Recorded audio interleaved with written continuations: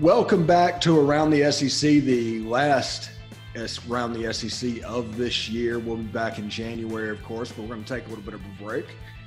Um, but we've got a we're going to talk a little bit about Shoegate. We're going to hit early signing day a little bit today, and then we're going to go into this weekend slate of games because even though it's SEC championship week, there is four games, and we'll go over picks at the end. And you have two people in a tie for first place, and you have two people in a tie for last place, and we'll tell you which two when we get there. Guys, how are y'all doing today? Man, I'm great. How about you? Oh, I'm just peachy. How you doing, Jeff? I'm doing pretty well today. Yeah. So, getting ready for Christmas. Yeah, our early signing day came and went, and um, we'll get into the, that in a little bit. But um, we're going to start off with Shoegate, and the question that is relevant on everybody's mind is honestly, who throws a shoe? Yeah, who throws it? Who chunks it twenty yards down the field? Why not just like spike it if you're going to do anything? What the hell? I, I did find it funny that the ref actually announced how far he threw it downfield. That was oh, that, that was had, pretty good. That had me rolling. Yeah. They, at that point, they just deserve to lose the game. It doesn't matter that it happened on a 57 yard field goal, which, by the way, props to that kid for making that one. But oh, yeah. you just have just so much. Uh, no, I can't remember. Maybe Elijah Moore last year, but it wasn't it. I mean, that literally did away with their playoff chances, really, realistically, although they only dropped one spot. Yeah, but I think you're right. I mean, looking at it, even if they win the SEC championship this weekend, I don't see how they make it in the playoffs now. So, whereas, you know, they were going in with just one loss, they might. Uh, but no, I, I, I saw it when I was watching it. I mean, he didn't he didn't take the shoe off on purpose. It was obviously part of a tackle, but and he just in the heat of the moment chucked it. I I don't know why exactly that's always such a big penalty, other than maybe it's dangerous to be throwing things like that, especially a cleat. But, uh, play of game when you chunk it 20 yards down the field. I mean, I would understand just like tossing it or maybe just like kind of spiking it or, you know, just kind just, of throwing it up in the air and just letting it fall. But it's just you, the distance you got out of it. Yeah, when you try to launch it down to the other end of the field, you're obviously, obviously trying to get that guy off the field because he has to go get his shoe and then he has to. So it's a, it's a it's an obvious at the very least it's a delay of game at the at the very very very least. But I mean, who does that? Yeah, on third and about eight, you make a stop. You're going to get off the field. Your Heisman Trophy candidate is going to get the ball back with about two minutes to go. I mean, all you have to do is say, "Yeah, we're going to score." Yeah, blank. And, and they they just deserve. It was the ultimate red mist, um, brain fart, whatever you want to call it. it. It was the ultimate version of that. That might have been the most thrown away game I've ever seen in college athletics. Yeah, they turned the ball over three times too. That doesn't help. Uh, you know, obviously you you you sh- it, obviously it shouldn't come down to the guy throws a shoe and ruins the game, but it came down to a guy throws a shoe and it ruined the game. But um, yeah, you know they made a ton of mistakes throughout the whole thing. It, they just weren't focused. Florida wasn't. They didn't deserve to win from the start. They sat Pitts in a cocky decision by uh, Dan Mullen to rest him for the for the uh, SEC championship, and I think Dan Mullen got slapped in the face with the reality that no matter how bad a team is in this league, they can sneak up and get you at any point. Yeah. Yeah, that, that Florida was a team that did not even consider the possibility of losing that game, no matter what happened. No, and they paid the price not because, yeah, and you got the shoe gate, but also there was another freak play in that game where it bounced off a helmet to a guy falling out of bounds, and he barely gets a knee in, like two deflections for an interception. I mean, just weird stuff was happening, and just everything was going against Florida. And then, like you said, they finished it up with a well over a 50 yard kick. It was a it was a strange game, but yeah, you're right. I think LSU just got lucky in that one with all kinds of just weird things happening. All right, and let's change gears real quick and start to talk a little bit about um, early signing day. Um, I believe six teams or seven teams finished in, in the from the SEC finished in the top 20 three of the top four. Georgia had a good day. Tennessee had a good day. Ole Miss had a good day. There were some struggles, as you can imagine. Auburn struggling, South Carolina struggling, um, and Vanderbilt is well, they perennially struggle unless James Franklin is there. But it, overall, it was a pretty good early signing day. And Corey, give me a couple players from Georgia's class that you're looking forward to seeing. Well, the obvious two are Brock Vandagriff and Amarius Mims. I think Amarius Mims is, is a day one starter, but so I'm not going to really talk about those guys. Um, two of the people that I'm the some of the positions that I'm really really excited to see what they can do is the corners is the corners and the receivers that we signed. Nyland Green from Newton County, Georgia, the cornerback that just committed last week. Uh, he's uh, 6'1", 175 coming in. Uh, I'm excited to kind of see how he does because the defensive backfield is going to be a, a, an area where there's going to be a lot of uh, there's going to be a lot of playing time up for grabs. Uh, Adonai Mitchell, who you and I, Steve, broke down when he was formerly committed to Ole Miss. I'm excited to see what he can do. He's a big, tall receiver that can go get it. He's a little bit electric. Um, he's number eight in the state of Tennessee. He's the 54th uh, best receiver. He's still a four.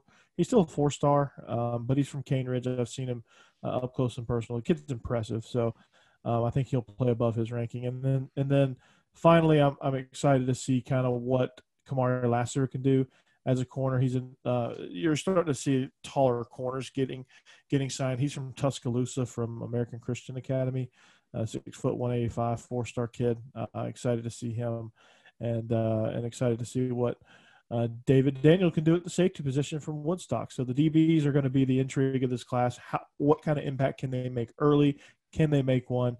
Um, and uh, can they, you know, carry on the tradition of good DB play at uh, the University of Georgia for the most part?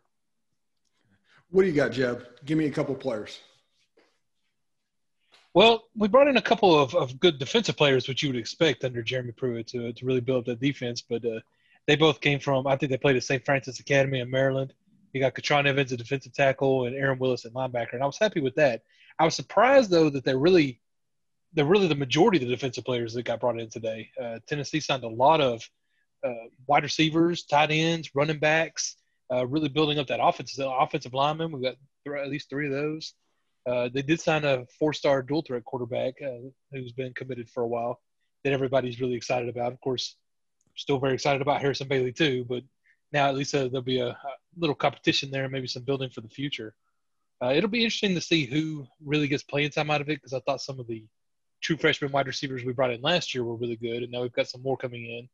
Uh, I know it's a JUCO running back is one of them that's that's coming in. Uh, he was the top JUCO running back in the nation, and that's uh, what's his name, Evans, Tiyon Evans, something like that. Mm-hmm.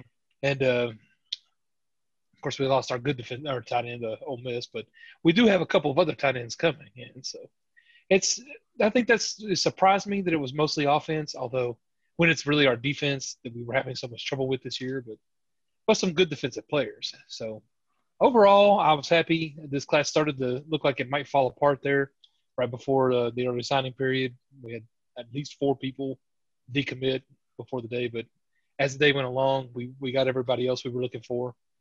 Uh, no real big surprises. I think a, a JUCO defensive end that we didn't know about came in, but other than that, uh, at least we kept together what we did have. So I'm happy. Okay. Steve, I know you're excited about Hudson Wolf, right? Yes, big tight end out of Tennessee. Um, didn't play his senior year because of a back injury, but hopefully he recovers in time. But he's like 6'7", 240. The two players I'm actually excited about seeing is um, J.J. Henry the the super fast slot receiver out of um, Texas, and Tysheem Johnson, the basically honey badger clone out of Philadelphia, Pennsylvania. Those are two real super athletes that are going to make a lot of plays and are a lot of fun. Of course, Ole Miss also signed Luke Altmyer, Braylon Brown. Um, they Brandon Buckhalter and a signing day flip from Mississippi State of MJ Daniels, a six-three cornerback which you were talking about an over six foot cornerback being kind of in vogue at the moment. So yeah. all in all, um, signing day was a huge success at Ole Miss and nothing but momentum continuing. They also Friday, it's between them and Florida State for Malik McClain four star wide receiver. And in February, they're they are the prohibitive leader for Taiwan Mon. So he's a defensive Yeah, line. Corey Korey Foreman's a, a battle to watch for. I think USC and Georgia are battling for him. Yeah. Any, any any battles coming up, Jeb? Tennessee still in? Uh, honestly, I'm not positive. There's still a few good players that I know we're hoping will sign. Uh, a lot of them left for either Alabama or Georgia that we now know are probably not going to sign with us. But Yeah. uh, and a lot of those are still on defense. I'm, i Dylan Brooks, that, yeah, Dylan Brooks is one of them that I know we're still really hoping for out of Alabama. Uh, I'm shocked. There's really not many defensive players at all. Like I said, almost nobody in the secondary, which has me a little worried. But uh, I think Deshaun Rucker out of Florida's uh, safety that we're hoping for. But other than that, no, there's just a, a few people left. We'll see how it goes. And I'm I'm excited uh, going outside of the the Georgia recruiting class here. I'm excited to see uh, since we are around the SEC, uh, Texas A&M landed, uh, and I'm going to butcher this name, but uh, Talk about five-star- Tunmise- yeah, Adeleye, Adeleye, uh, defensive end. five star kid. I'm I'm excited to see kind of what he can bring to that A and M defense. Uh, A and M has a knack for uh, getting some pretty good rush ins. I would say, um, you know, a couple guys you may have heard of, Von Miller and uh, Myles Garrett. So, um, but- A and M is a quarterback away from being a true threat and contender in the West. Yeah, they are, and and they're they're they're very very very close, and and so I, I like, uh, you know, I, I liked what uh, I like what they did with that as far as that goes.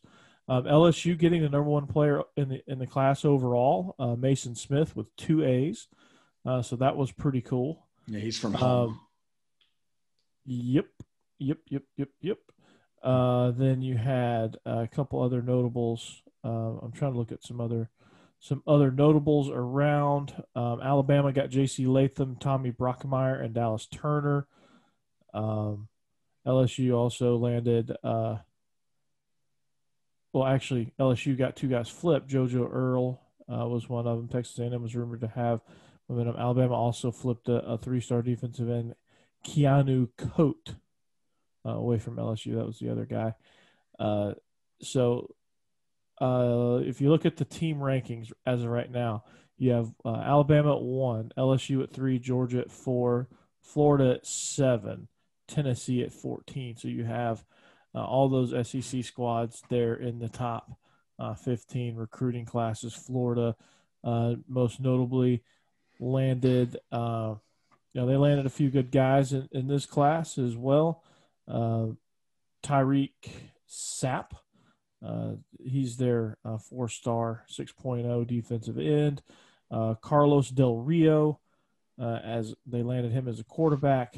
Got to think he's uh, related to Jack Del Rio. So, uh, an impressive classes around the conference as usual. Uh, not surprised there. So, uh, pretty good day for the SEC. Pretty good day indeed. Go ahead, Joe. You may know more about this. I'm, I'm curious. Just with Mississippi State, Mike Leach, is he getting the quarterback he needs to run his system and, and Sawyer Robertson? I I believe so. He's he is the highest ranked quarterback I believe to ever go to Mississippi State. Um, and he's obviously from Lubbock, Texas, so you can imagine the the roots there. So I think he is a Mike Leach style guy. And Luke Altmyer was in Starkville, and Luke Altmyer didn't get a sniff from Mississippi State after Sawyer Robertson committed. So he, he looks he looks to be the real deal. Although the rest saying, of, the rest speedsters Ole Miss signed on offense, and then the quarterback Mississippi State's getting. We might get that uh, high-powered Mississippi offense going next year. Could be fun. Yeah, it, it could be fun. Also, before we go to the break, um, what are your guys' opinion on the one-time transfer going through committee today? And now it's all you know. Let's go. No more delays. No more waivers needed. One-time transfers are in effect. just you know, it, it was just kind of a crapshoot. So, you know, I've always been a proponent of why not just let the kids transfer one time um, if they're unhappy. That's obviously going to curb the the free agency period, but um, also it's going to prevent you know kids from going. Okay, I'm not happy at Ole Miss, so I'm going to transfer out. Okay, well, uh, I just signed on at Kansas. So crap, I made a terrible decision. Now I got to sit out because I don't want to be a serial uh, transfer artist. But um, I, I, love it. I, I think it's you know if it's fair for coaches to jump around and not have any sort of penalty, and you can tell me, um, you know, all sorts of they're professionals and getting paid and all that stuff. But you know, I still think it's kind of messed up that they can transfer so easily uh, from job to job to job. Uh, and kids, uh, normal academic students can transfer from school to school to school uh, with no problems. So why not uh, let the student athletes at least have a shot at that uh, on a one-shot deal? I mean, I, I know it's kind of they, are signing a contract, but um, you know, give give them a one-shot deal because you know stuff happens, and so uh, I think it kind of takes away a lot of the excuses and a lot of the the BS, so to speak. Yeah, and, and yeah. Co- coaches can be honest also that them processing players on a year to year basis. Now a player can leave just the same, so it's kind of the same way both ways. No, I completely agree. I think I, it's more about at least it's supposed to be more about education, and I get that. But letting them transfer once isn't going to disrupt their education at all. And when you're coming out of high school, and, and, I, go, I didn't go through this process, I don't know how it all works. But when you're coming out of high school, the jump to college is a lot different than I think a lot of people realize. You may get to a college and realize you were looking at the wrong things, or or you just weren't assessing the situation because I don't know, you were you're the lights and everything was just blinding you. And now that you've had a chance to really think about it and see everything, you feel like you would be a better fit and, and have a better time somewhere else. I have no problem letting them make that transfer once. I don't, I don't see why anybody would be against it. All right. Around the SEC, we need to take a break. When we come back, we'll get into this weekend's action. Um, and we're going to do it a little different, just to let you know. But until then, stick around.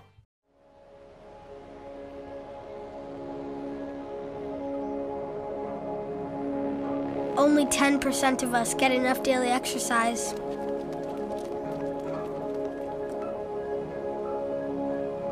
And that number is dropping.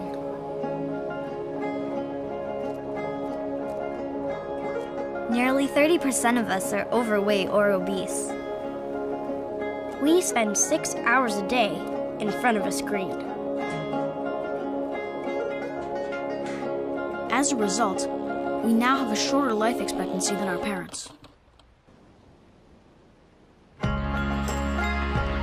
But give us the right start in sports, and we'll never stop. Learn how at active4life.ca. Hey, this is Steven Willis from Positively Ole Miss. We're almost done with this break. We'll be back with good information quite soon. The military has been in every generation of my family, and so has VA. It wasn't easy for my dad after Vietnam, but VA helped him and my mom get the home they'd always wanted. My grandpa's been coming to VA since World War II. They even helped him lay to rest one of his battle buddies from Normandy. And me, I followed in their footsteps and served with pride. And now that I'm out of the military, the GI Bill's helping me with school. Every generation of my family has served, and VA has served us all.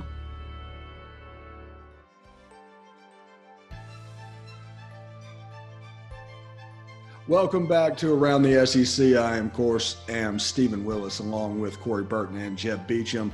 Now we're just going to go along the games. We have four games this weekend. I know it's SEC champion week, championship weekend, but there is three other games, and we're going to cover those before we get to the championship game. The first one is Ole Miss versus LSU, and I know we talked last week about how LSU was going to be a dumpster fire and everything was going to go wrong, and Florida also obviously listened to us and just didn't show up at all. LSU is not that scary; they're not that good.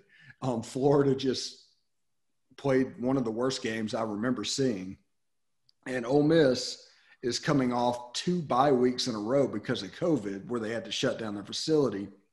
So you don't really know what you're going to get from them, but it could be an interesting situation to look at moving forward, and with Ole Miss being a favorite in Baton Rouge. Yeah, I mean, I, I you know, like I said, I, I still think LSU's a dumpster fire. Don't get me wrong on that. Um, and Ole Miss is extremely exciting to watch. I think I think LSU will come back down to earth a little bit. uh, I don't think people realize how intense LSU Florida's rivalry is because uh, it's not really a geographical rivalry that people think about, but that's their permanent crossover opponent. And they're not too fond of each other. And, and they've had some freaking knockdown, drag out battles over the years. And so um, LSU definitely was up for that game. And, um, you know, Ole Miss, Ole Miss and LSU hate each other. Don't get me wrong, but uh, I don't think LSU can do it two weeks in a row. Um, I still think it's a dumpster fire. Uh, they had a great day today recruiting wise, um, but uh, I think that's you know just a, a, little drop in the bucket type momentum. I think Ole Miss is going to roll this game, man. Uh, the, Ole Miss just overwhelms people offensively with tempo and things like that, and I think, I think by the time your head stops spinning, Ole Miss has scored 21 on you, and, and not real sure how how you got there, but um, you know, Lane Kiffin just continues to to figure some things out. I think he's getting the defense settled in a little bit. Uh, they're starting to do some really really good things over there in Oxford. Um, just hope that Auburn uh, can't come in and and grab Lane Kiffin. I don't think they can afford him anyway, but um, I, I, think Ole Miss has found something special in Lane Kiffin. You know, LSU is a. I mean, they are just like you say, just a dumpster fire this season, but they do have just a ton of talent. They, then they've always had that, and then like I said, with the recruiting class, they're bringing in a bunch more. So it's not a huge surprise, I guess, when they have a good week. It's just everything seems to come together for them, and your uh, their opponent uh, just has a bad week. So LSU can play well, uh, and it was it was impressive to see the fight they put up this last week. Uh, but I, I kind of agree with you. I think Lane Kiffin will be better prepared for this. He's had a lot of time now to prepare for LSU. Uh, I think he'd like to win his last game this his first season here. So I, I think Ole Miss will come out swinging. LSU will score a little bit just because Ole Miss's defense has uh, been having such a tough time this season. But I, I think Ole Miss will pull this one out. Yeah, and and something very possible that you guys might not be aware of. Since the one-time transfer went through yesterday, technically Jacob Springer is eligible to play for Ole Miss Saturday, and he, of course, is an All-Conference um, American player from last year from Navy free safety. That, that's a that's a uh, breath of fresh air there, huh? Yeah, the, at the beginning of the year, they were counting on Jacob Springer and Otis Reese to kind of be the backbone of their back shell of their defense. And when that wasn't gone, they ended up putting freshmen out there and first time starters that, that played JUCO, and it, it was just yeah. a mess. Yeah, and you, you knew it was going to be uh, you knew it was going to be ugly to start the year when when there's so much youth and, and, experience. We talked about that in the spring, Steve. But mm. um, too bad, too bad Mississippi State. Just jumping off topic here. Too bad Mississippi State couldn't couldn't have signed one of the one of the goofiest names in uh, in all the recruiting class, General Booty. General where, where, did he go? Booty. He's undecided, so he could still land at Mississippi State. Uh, he's from Allen, Texas. Allen High School in Texas. Pro style quarterback, redhead. General better. Booty. Okay, Even so better than Jim Bob Cooter. Yeah. So back to the topic at hand. Um, so yeah, I think yeah, I and Otis Otis Reese has got to be thinking when he saw this rule pass with the transfer rule, he's got to be thinking, "Come on, man, really? They couldn't pass that weeks ago and help me out." Yeah, because he had some he had some struggles getting uh, getting cleared. Yeah, and um, he's probably the only player in Ole Miss history that made their debut in the Egg Bowl. Yeah, no doubt. But he had a great game and was definitely a difference maker. Yep. Oh yeah, totally. All right, let's move on to Knoxville, Texas A&M versus Tennessee. Texas A&M favored by 14 points against Tennessee, who is they're going to go with youth. They're going to try and force old man football down Texas A&M's throat, who's going to try to do the same thing against Tennessee. It could be 17-14. It could be 42 to nothing. Um, either way, I think it's going to be an A&M type game. Uh, yeah. Can you imagine the look on A&M's faces when Tennessee beat? Sorry, I almost got all that out. it's uh, no, I, I you know I love Tennessee, and and I, I'm glad they're finally playing Harrison Bailey. Actually, JT's looked really good too, so I'm I'm looking forward to the game. But A&M's defense is really good, and I just I don't I don't see Tennessee scoring a whole lot in that one. It's it's going to be a, a, growing game for Harrison Bailey, basically just us uh, working on next year.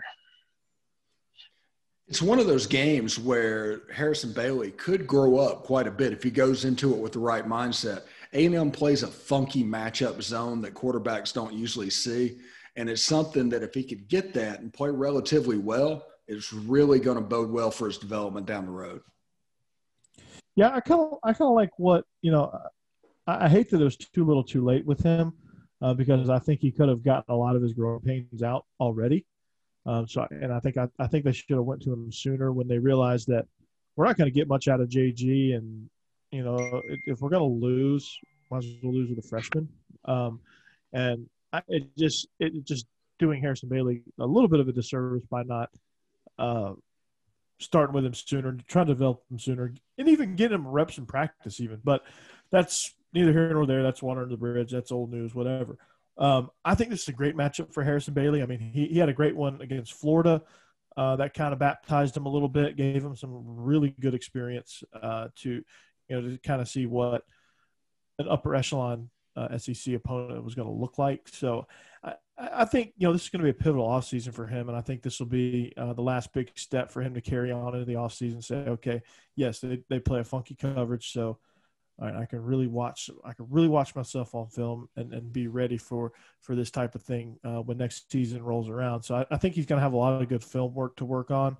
Um, I wish he had more, but he's going to have a lot of stuff to develop. And and uh, you know, I, I, like the direction that this kid's going. Um, it doesn't seem like he's going in the right direction, but I think he is. You know, uh, if you if you really dive down deep, I, th- I think he is. I agree with you. I'd, I'd love to see Tennessee get aggressive in this hmm. game on offense, uh, using Eric Gray and Ty Chandler and, and some of that speed they have at the young wide receiver position and, and really attack uh, A&M just to see how it goes. I don't think it's going to happen. I, I think we're going to stay pretty conservative throughout the game and lose it pretty handily. But I would love to see it. At least try, see what you've got in him, see what he can do, and give him some experience. Jeremy yeah, Pruitt I mean, basically wasting this year of Eric Gray running this old man football offense is practically criminal. It's a shame that people just don't get to see what is potentially the one of the best running backs in the SEC. I have to agree. Hmm. Yeah, I'm I'm right there with you. Crazy. All right, let's move on to Missouri at Mississippi State. Missouri is a one point favorite against the Dogs down in Starkville. Missouri, um, under Barry Odom, they'd be very familiar with the drop eight coverage that everybody runs against Mike Leach now. This could be a bad matchup for Mississippi State, but who knows if they take a step with Will Rogers.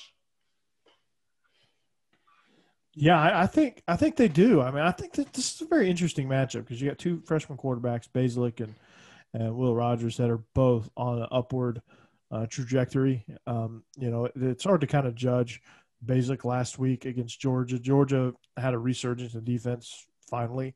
Uh, I think they communicated finally the secondary. I think they got guys lined up right, and they played and they played hard and and they made plays and, and they flew around and they played that Georgia defense that we saw against Auburn and Tennessee. So, um, and and then the second half against Arkansas, or really the whole game against Arkansas. So, um, just throw that game out there. But I, I think both these quarterbacks are on a great upward trajectory. I, I really like what they both do on offense. Uh, Larry Rountree is one of my favorite running backs to watch. Um, in in this conference. He's uh, too bad he's leaving. I think he's a senior, right? Yeah, but he doesn't have to leave if he doesn't want to. That is true, but I, I think uh, the NFL is uh, it's going to be a good fit for him. So, um, yeah, I I, I uh, in, in, my picks, I don't want to spoil it. Um, I, I pick I pick a school that starts with an M uh, to win this game, but you know I, I think it's going to be interesting to kind of see how Mississippi State's going to end the season. Are they going to end on a high note? Uh, win or lose, are they going to end on a high note? Are you know you're you're going to really kind of see now what they have, what they will have, and and kind of where their focus is uh, goal wise to work on in the offseason. And I think just general team cohesion what was a uh, what was an obvious goal here, and just kind of building that culture um, in year one under Mike Leach, and that's always a, a staple of the Mike Leach program. Year one's always going to be let's rip it down to let's rip it down to the to the barest point and and build it back up. So this will be a fun game to watch. I think this will be one of the obviously. I, I think this will be a better game matchup wise than uh, than the SEC championship. Yeah, I think uh, Coach Eli there at Missouri, he's a his candidacy for uh, SEC Coach of the Year took a little bit of a hit last week with Georgia, but I think it's still on track. They've they've definitely been the surprise. I mean, obviously Nick Saban probably should win it, but he probably should win it every year, and he wants that. So uh, I, he did so much there at, Missouri uh, with with what he had. It's been impressive. I could see Missouri running away with this game, but Mississippi State, you just never know when if Mike Leach can get that offense going with Will Rogers, and they've really gotten better about it the last two or three weeks. Uh, who knows? He may actually, if, if Missouri's not prepared for it, they may run right over him. So, so you're right. It's a great matchup just because I have no idea what's going to happen. Can't wait to see it. All right, around the SEC, going into a break. When we come back, Alabama and Florida, the SEC championship, it gets a segment by itself. Stick around.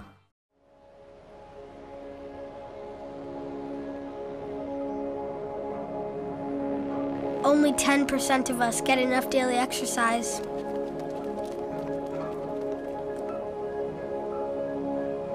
And that number is dropping.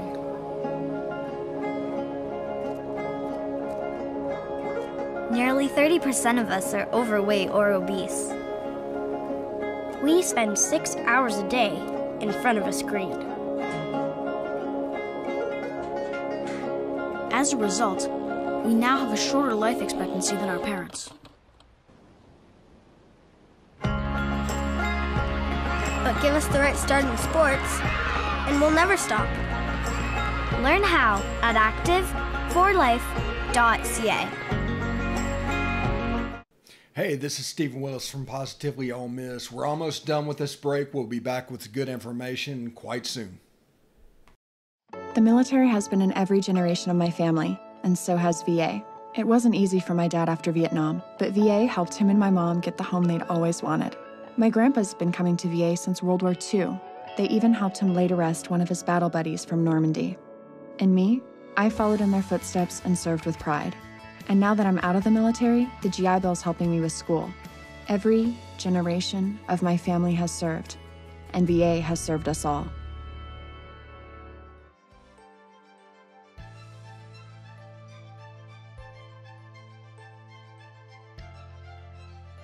Welcome back around the SEC. We're here for SEC Championship Saturday, Alabama versus Florida in Atlanta. We made it through a season. We did everything we were supposed to do. This was a rough year, but we got here, and now Alabama gets to curve stomp the Gators. Yes, it's. Uh, I can't. I can't think of a. Uh, I can't think of a more lopsided uh, affair here um, with uh, with an SEC championship. I mean, Florida comes in and you know they just come in on like limping in on on two wheels. You know, you got two flat. You know, they, they were come they were roaring in uh, previously, but they found a, a, bed of nails on the road right before they got to Atlanta, and, and now they're just kind of limping in and Alabama is. I never thought I'd say this, but it almost seems like they're more explosive without Jaylen Waddle, uh, and that's odd to say, but uh, DeVonta Smith has kind of just taken on the role of, of both of them combined and taken on the the special teams challenge and things like that, and it's just it's going to be ugly, man. Honestly, it's going to be ugly. I think DeVonta Smith's going to have three touchdowns himself. Najee Harris he's he's a load to stop in the run game. I mean, it's just it's pick your poison, man, with the, with this group. Yeah, if I'm Florida and I'm trying to look for what I want to do, I mean, Alabama has given up some big uh, passing games to a few teams, including Ole Miss. So, and Florida is great at passing the ball. You know, got the Kyles out there, uh, and Toomey, some of the others, and and so I, I think Florida can score some points in this game but they're also not great at stopping the run. So Alabama, you know, will just run Najee Harris right down their throat, and then nobody's going to stop DeVonta Smith. So they're going to be able to throw. It's just, unfortunately, I don't know anybody right now that can slow down Alabama's offense enough to be able to win a game against them. And Florida is definitely not at the top of that list. Yeah, and you know this game reminds me of the mid '90s, late '90s matchup where Arkansas or Mississippi State or so and so would go to Atlanta and just get drilled by Tennessee or Florida. I mean, it's just like the inverse of that game. Mm-hmm. It is. It really is. Because it used to be the East would, would was dominant. Now the West is dominant, and and it's just yeah, it, it's bad. This is it's, it's going to be ugly. I hate yeah. to say it, and that's really all I can really say about it. I mean, Florida, Florida, for all the firepower they have offensively, I, I don't. But defensively, they're. I mean, they're going to have to keep up. It's going to be a track meet, and right now, honestly, Alabama's Usain Bolt, um, and Florida can score, but I don't think they can score as early, often, and frequently as quickly as Alabama can. You know, they got Kyle Pitts, they got Kadarius Toney, things like that. But Alabama can really break your back, and and that's that that worries me for the Gators, um, and that worries me for everyone that's getting their hopes up that this is going to be like game of the century. It ain't going to be game of the century, um, and because I said that, it's going to be four overtimes, and uh, Florida's going to win. But um, you know, in, in, all honesty, it's just let's be realistic about this thing. Alabama is a freaking buzzsaw. Alabama is the best team in the country. They're the best team in America. Been saying that for a little while now. Um, Clemson's pretty damn good. Not better than Bama. Notre Dame's pretty damn good. Not better than Bama. Ohio State, not not a big enough sample size to really know if they can compete with Bama, but I doubt it. Uh, Texas A&M already lost to them. Probably probably lose to them again. Probably get beat worse uh, second time around. So you, you got to look at it as you just got to tip your cap to Nick Saban and say, "My God, dude, you built the squad." Yeah, and, that's the reality. Yeah, and you take a team like Alabama, who Steve Sarkisian is just a master of getting matchups in the pass game, going up mm. against third and Grantham. It yes, could be a scary situation. Oh God, third and Grantham. Jeez Louise. Yeah, I think I think you're going to see a lot of Dan Mullen chewing out Todd Grantham on the sideline. Yeah, probably not in the second half. might get might get a little bit numb in the second half. But I do I probably I, I, do look for um Najee Harris and Brian Robinson um to have a larger role in the game because honest to God, Alabama has or Florida has two choices um, to stop to try and contain this Alabama offense, and that is either drop everybody back in coverage, which they're going to kill you in the running game, or blitz yeah. everybody, which there's nobody that can one-on-one cover DeVonta Smith. So yeah, I, I just don't know. And it's going to be a game. Also, look at look for a maybe a touchdown by Miller Forristall, just completely left all alone. Yeah, that's that's another that's another one. You're just like, oh, you got Metchie, you got Forristall, you got the two running backs. I mean, I mean, it, pick your poison. Oh, who's the guy from Monroe, Louisiana? Like um, that replaced um Jaylen Waddle in the slot. That's Metchie, I think, right? No, it's like Slade something. Boulder, Bolden. Slade Bolden. Yeah.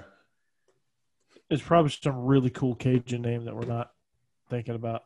No, he's from up around Monroe, so he's he's pretty close to Mississippi at that point. We're, we're, they're pretty much the same um, DNA. No, we're not down in Cajun land yet. Uh, okay. Yeah, just running through Alabama's roster, trying to figure out what what Florida can do because, like I said, Florida may be able to score some points, and their only hope is a shootout that they can win and you're thinking, well, they need somebody on Alabama's side to mess up, but Mac Jones doesn't throw interceptions. Najee Harris doesn't lose the ball. The DeVonta Smith, you know, Metchie, all, none of these people drop the ball. It's just, no. I mean, it, yeah, I, I just don't understand what anybody does right now to stop Alabama. Yeah, and they're going to bracket um, Kyle Pitts because that is going to be the weapon of choice for Florida. So the outside guys might be single coverage. You have a chance at maybe hitting some back shoulder, which Bama's proven that they're susceptible for, even as well yeah. drilled as they are. Yeah, I, th- I think if Florida's going to have a big game, uh, I think Jermaine Copeland's going to have to going to have to have himself a day because he's going to have a lot of one-on-one matchups and a lot of holes to, to, to run in, and a lot of a lot of open grass uh, because they just can't simply account for everybody. So, um, yeah, I, think that uh, I think that he'll have a chance to to really get some shine in this game. And I think they're going to at least a little bit um, try and use a similar game plan that they used against Georgia, putting their backs on the linebackers, maybe putting Kyle Pitts in the backfield and sending him out, um, especially early on to mess with the coverage scheme. I, I think I, mean, I, think other people know how to run, know how to defend wheel routes, um, so it shouldn't be too big of an issue. Um, you know, if Bama can figure out, I think they can figure out a wheel route. Yeah, and Nick Saban can do combo coverage. He's been doing combo coverages in the SEC since probably before everybody else. I mean, cover, cover seven's his thing, right? Yeah. Which is, it's like a match quarters. I think is what it is. Uh, it's like a pattern match quarters. And they're so good with communication. Oh my god, yeah. They're. I mean, the bust are like when I say few and far between, I mean like there might there might have been like two or three coverage busts all year, and I think all three of them were in the Ole Miss game. And and that was tempo caused. Uh, yeah, you, it, it, was caused by tempo, yeah. and it was caused by the fact that normally in training camp is when you work out a lot of these kinks. Mm-hmm. And I think that's where tempo's been a huge, uh, a huge deal, is because teams can practice against it in training camp and spring, and you know they can get ready for it for a little bit.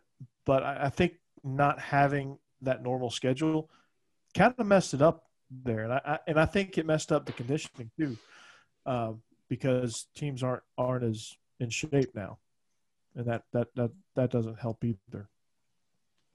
And going forward, also, this is not to change the subject. Teams aren't going to be as as in as good a shape as they have been because you have to play your freshman, or the freshman's going to use their one-time transfer. Yeah, yeah. yeah I mean, that's going to become more more vital. Yeah, yeah, it is. And you know, you're just going to see, you know, it's going to change the way you recruit because you, are going to have to recruit the transfer portal about just as hard as you recruit the the the outgoing high schoolers. And so, you know, I think Georgia's going to get a big um, transfer portal victory with Arik Gilbert. So um, I'm excited about that. Yeah, and and most coaches, um, even Jeremy Pruitt down the lane, even over in Kirby, they basically converted their recruiting offices into basically a modern player personnel facility to where you're not yeah. just recruiting high schoolers, you're recruiting all different types.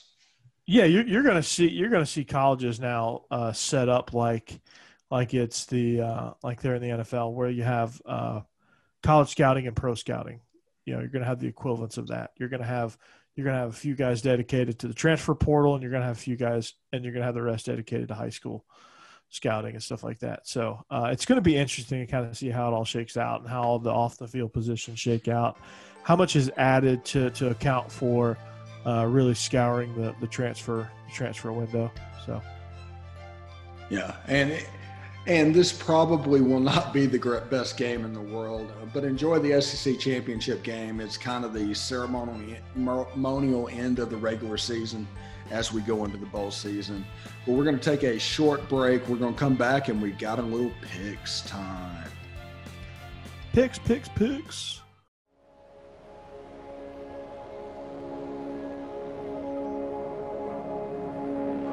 Only 10% of us get enough daily exercise.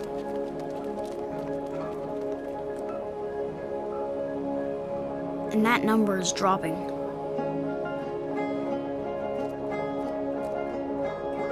Nearly 30% of us are overweight or obese. We spend six hours a day in front of a screen. As a result, we now have a shorter life expectancy than our parents. But give us the right start in sports, and we'll never stop. Learn how at active4life.ca. Hey, this is Steven Willis from Positively Ole Miss. We're almost done with this break. We'll be back with good information quite soon. The military has been in every generation of my family, and so has VA.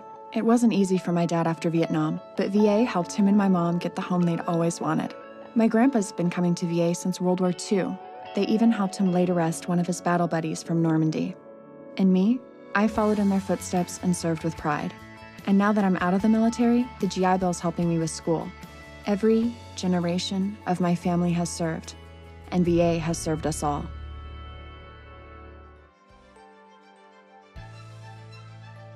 Welcome back to Around the SEC. A Steven Willis along with Corey and Jeb. It is picks time. There's only four games this week, so we gotta go over it. Um, I went three and two last week. Jeb and Corey went four and one. Becky went three and two. That leaves us with an overall record of me and Jeb are tied at 31 and 24, and Becky and Corey um, is coming in at 28 and 27. So technically, they could catch us but it's not likely. yeah, I'm going. I'm going on a 4-0 streak, but it doesn't look like I'm gonna. Doesn't look like I'm gonna make up much ground because. Yeah, you picked the I, same teams I did. Yeah. Yeah. So anyway, I'm above 500. I'm cool. Yeah. And I uh, changed. I changed one on purpose, but we'll talk about it. Okay. Um, Ole Miss getting two and a half points on the road at LSU. Honestly, if I stopped and told you in June that Ole Miss is going to play LSU in Baton Rouge this year and be favored by two and a half points, you would have told me I was high. Yes. Um, but I'm I'm going with Ole Miss in this game to cover. I think it's just in a position to where, I mean, they just will. They have a better team. I can't believe I'm saying that, but they do. Yeah, I mean, it, as good as LSU played, um, against Florida, and I think they've. You know, this is a different discussion for a different day, but I think they potentially found their quarterback in uh, Max Johnson. Indeed, they just don't have enough firepower. I, I, I like the I like the ribs. Yeah, I think LSU's got a lot of talent, but they're just running in circles right now. It all came together last week. It's great. I don't think they can do it twice in a row though, so I'm I'm going with Ole Miss as well. And Becky is going with Ole Miss as well. Texas A&M giving away 14 points, minus 14 at Rocky Top, Tennessee. Um, I'm going with Texas A&M. Just lay, um, going to lay the points. Let's see how it shakes out. I just think they're going to be better at playing old man football than Tennessee. Well, this is where I differed, and I only did this because I don't want to send in a tie. So I, I decided if I'm going to go for a win at at all of this, I'm going to go with my team and do it. So I'm taking Tennessee to cover that spread, to come out and have a much better game than any of us expected to see from them, or A&M to stumble either way. And I not only get to see Tennessee play well, maybe even come close to winning, maybe win, but I'll also win in our picks. So I'm going with Tennessee. Jeb, I, I think I think if you wanted to win in your picks, you should have went different on on the next game. But um, I I think A and M even if they sleepwalk to start the first half, I see this game kind of going like the Georgia Missouri game went last week, where Tennessee's going to fight them, fight them hard, and you're going to be like in the first half, you're like, whoa, okay, all right, I see you, Tennessee, and then Tennessee's going to run out of gas, and A and M's going to put the pedal down to the metal, and they're going to pull away. Uh, they did it against Arkansas. That's kind of been their mo. Uh, you know, they, they just have that extra gear in the second half that they seem to kind of put their game into, and, and I think they're going to do it. Uh, and I think they're going to cover. So give me the Aggies. Becky is taking Tennessee as well. I do think Isaiah Spiller is going to have a big game, especially in the fourth quarter. Um, Mizzou at minus one versus Mississippi State down in Starkville. Um, I'm going with the Missouri Tigers. Um, I like Connor Bazelak. I like Larry Rountree. I like that offensive squad going against that defense. And Missouri had a rough game last week, but I think they come back in this one too and and really take out Mississippi State. And I agree, I could have gone Mississippi Mississippi State in this one or LSU, and probably would have been smarter. I just I just wanted to go with my team, but but in this one, you. yeah, I think Missouri. I don't blame you. Um, I, I just think Missouri's more put together uh, than than Mississippi State. Mississippi State's really not far away, not as far away as we as they once were, or they were once thought to be uh, in the beginning of the season. I think they've come miles and miles and miles. They've still got miles to go. uh, which is why I like Missouri in this game. Uh, but I think MSU is going to surprise some folks and, and play really well. Yes, and Becky um, picked Mississippi State in this game, which I'll talk to her about later. Um, Alabama in the SEC championship game, favored by 17 points over Florida. You know what? I'm going to pick Alabama, and there's probably uh, maybe 28 points before I'd consider not picking Alabama in this game. Well, I hope Florida puts up a better fight than that just for we see a better game. But as we've said all season, you just can't pick against Alabama if you want to win these picks. So I have to exactly. go with Bama. And until Bama doesn't cover one of these giant spreads, I'm I'm I'm rolling with the tide, and I hope they double the spread on Florida personally. Um, so shocking. So maybe I should pick Florida if I want that to happen. Well, Becky did. Becky picked Florida in the game because basically she knows she needed to make up a bunch of games on me, so she's trying to catch me. So that that that's that's her game plan to make up three games is to go four and zero, oh, and I go one and three because she's not going to pick against Ole Miss. Um, but that is around the SEC for Corey and Jeb. I'm Steve. Um, hope you enjoyed it just as a reminder, um, this is our last show of the year. We'll be back probably the first or second week of January with new intro music. It's gonna look great. It's gonna sound great, I think, and um, I can't wait for you to hear it. So until then, for them, I'll see you then. Bye bye.